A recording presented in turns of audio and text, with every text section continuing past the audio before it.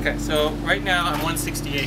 168, with sure. gear. And uh, I sprained my tendon, Oh, so I have to wearing this so my I don't move my hand as much. Regularly it's just flat, but this hand wow. I have this. Usually wear long pants when you're climbing to protect your legs, Uh-huh.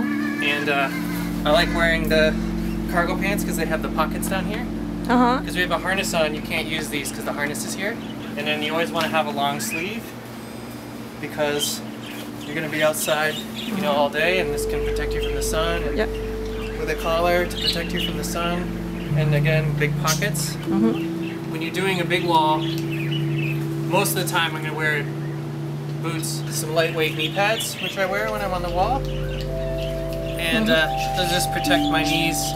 So this is my harness. It has a lot of uh, extra stuff on it for aid climbing. And when you get up on the cliff, you don't take your harness off. Like you sleep with it on. You basically you put the underwear on, you put the pants on, you put the harness on. You don't take them off until you get done. Like at night, you loosen the leg loops so you're a little more comfortable.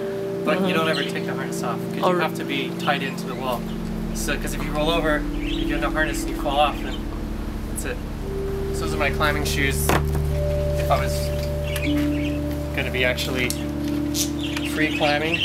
So I've got all the the gear here, extra carabiners. On this side I have all my cams, all my nuts, quick all the equipment you would need to do the climb, like if you were leading. And then I would probably have some of these, like on me as well.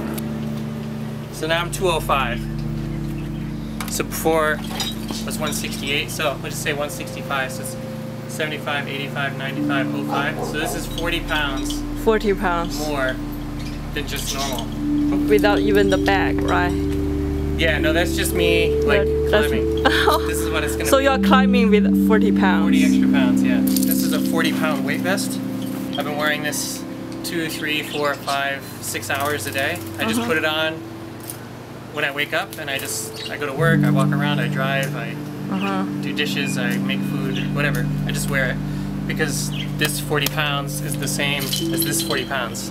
It's a good way for me to train like all day Yeah. because when I'm climbing, you know, you wake up when the sun comes up and you climb until it gets dark. So I need to get used to 40 Mhm. extra pounds for like 10 hours. So, um, but it's not practical to walk around the house or go to work looking like this. Last week I took a rest and I didn't wear it at all. But I feel relieved. the two weeks before that, Okay. um, every day, five hours.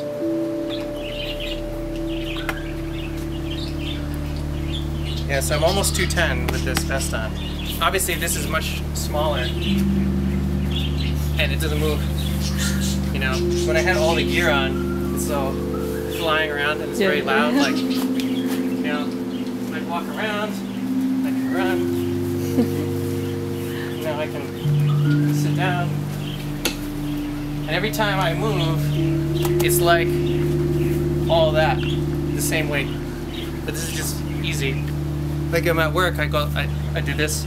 So like, you can see I have it, have it on, but it's not as noticeable. My calves, they're the, they're the one, these are the most tired, Oh. not my back. It's because every, every, every step you take, Mm-hmm. you go like this. And so every, every single step, my calves extra 40 pounds. Boom, boom. A big part of the training is not the physical, it's the prep. And if you prepare correctly, even if you're not in the best shape, if your technique is really good and you're really well prepared, you'll probably do fine. If you're very fit, you don't know what you're doing, you don't do any prep, you're probably not going to go do very well. So it's important to do all three. Get fit, get good te- technique, and also be prepared. So Okay.